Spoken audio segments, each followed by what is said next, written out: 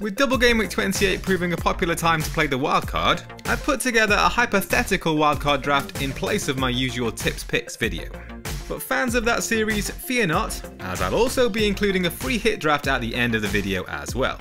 So stay tuned for that. Bournemouth shotstopper Neto faces the prospect of four home matches in the next four game weeks, and will have another double game week to come later in the season after his game week 29 tie with Wolves was postponed. Just make sure you've got a backup goalkeeper who plays next game week. The safest pick among the Cherries back line, budget-friendly Illia Zabarnyi has played every minute in the Premier League this season.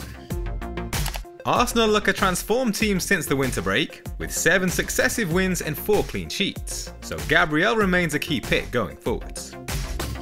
Luton wingback Alfie Doughty continues to demonstrate threat from set pieces with 5 assists in his last 8 appearances, and helps you get through blank game week 29 with a home fixture against Nottingham Forest. Three fixtures in the next two game weeks increase the appeal of Ross Barkley as a short-term punt. The revitalised midfielder has delivered two assists and a goal across his last five away matches. Back on the score sheet last weekend, Son Heung-min is boosted by a favourable meeting with Fulham in blank game week 29. Bukayo Saka's exceptional form sees him retain his place as Arsenal continue their title charge with an encouraging end of season run-in, which includes home fixtures against Brentford, Luton, Bournemouth and Everton.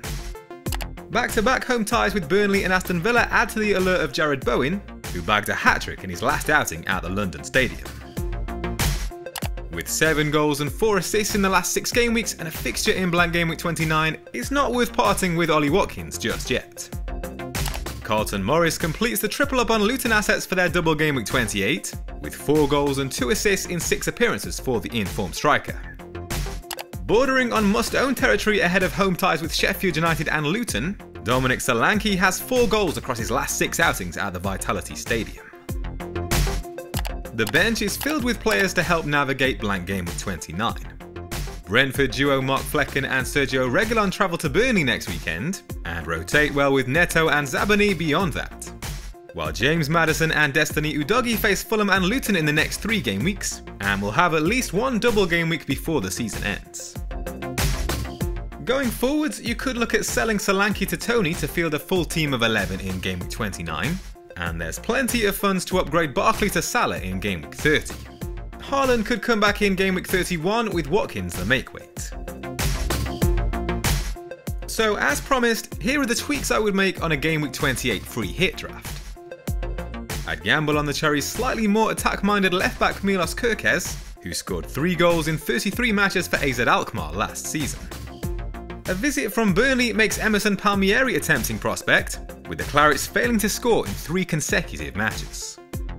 Arsenal's free scoring form brings Martin Odegaard into contention on the back of his two goals and three assists in the last four game weeks. And with cash to afford the big Norwegian up top, Erling Haaland is selected alongside the two double game week forwards. Let me know your thoughts on these drafts in the comments below, and be sure to check out the rest of my Game Week 28 content if you haven't already.